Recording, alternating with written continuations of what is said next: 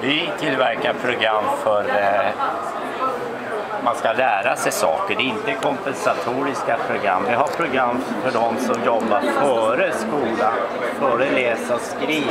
Och sen har vi väldigt mycket för lågstadiet, det som motsvarar lågstadiet. Men vi har också program för, som man kan använda ända upp på gymnasiet till exempel, som att räkna med procent.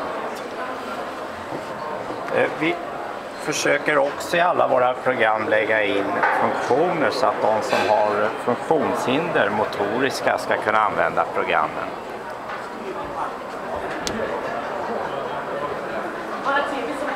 Och, eh, vi har hållit på i 15 år nu och vi har nya, nya program. Ofta står vi på sådana här mässor och utställningar för att kunna ta tillvara nya synpunkter från lärare och pedagoger som kommer. Och, och, och det är väldigt värdefullt för oss, inte bara sälja utan också få feedback.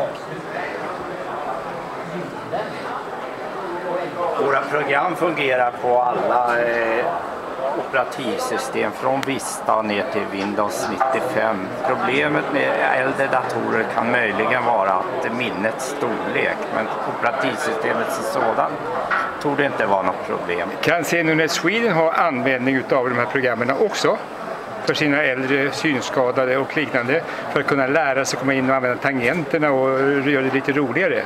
Ja, det kan jag tänka mig att man kan göra. Vi har ja, haft många besökare, eller några besökare här, för när man blir äldre är det ju lätt att man kan få sådana här eh, medfödda skador eller så svårt att komma ihåg saker. Då kan man träna stavning och, och, och ord och så om man håller på att tappa språket med till exempel korsordsprogram, talande korsordsprogram. Vi ber att få tacka dig från Zenunet Sweden. Och var är vi någonstans? Vi är på Factory i Nacka. Ja, det sista dagen och vi Sweden tackar dig Ja. för att vi fick en liten uppvisning här. Tack så du ha. Hej! Tack.